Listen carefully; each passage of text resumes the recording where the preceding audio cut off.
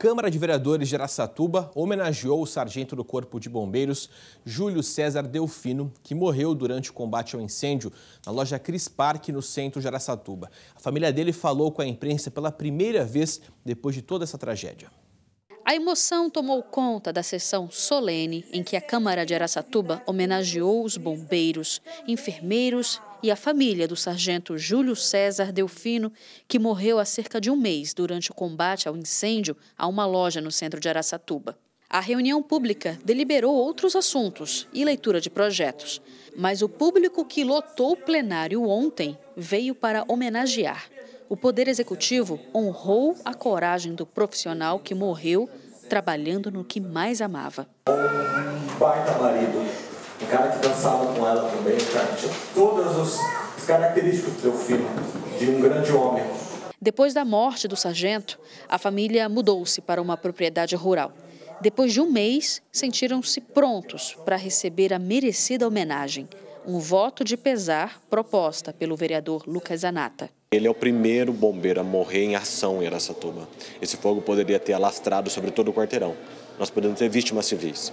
E ele perdeu a vítima na função do trabalho dele.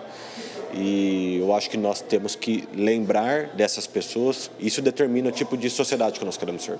Um grande irmão que a farda trouxe. Assim definiram os amigos do Sargento Delfino.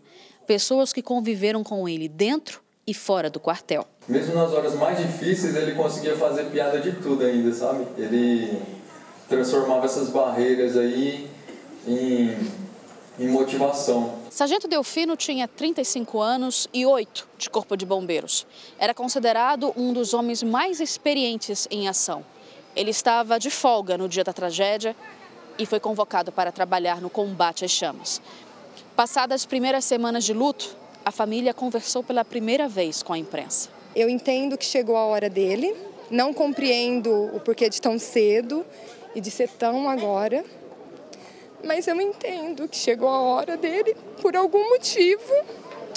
É, talvez eu nunca tenha essa resposta do porquê de ser agora, Talvez eu vá e essa resposta nunca chegue, mas eu creio que há um propósito para todas as coisas que acontecem. Ariane conta que a comoção que a morte do sargento Delfino provocou em toda a cidade e as homenagens consolam a família, porque ela acredita que o lugar dele não era aqui e encontra forças para cuidar das filhas do casal. Quando eu penso em esmorecer, em cair, eu não posso chorar perto delas, então eu acabo tendo forças para seguir adiante por elas, porque ele vivia e respirava todos os dias por nós, por mim e pelas meninas, né? E é por elas que ela segue adiante. A fé e o amor que o sargento Delfino, pai, marido e ser humano deixou, é possível de enxergar em outros olhos, nos das filhas. Quando você vai orar para o Papai do Céu e você manda uma bênção especial para o papai, como é que você fala? Eu falo, hoje eu falei bom dia pro meu pai. E eu falei, mãe, dá bom dia pro papai. E ela já falou, eu já dei bom dia. E ele tá onde agora? No céu.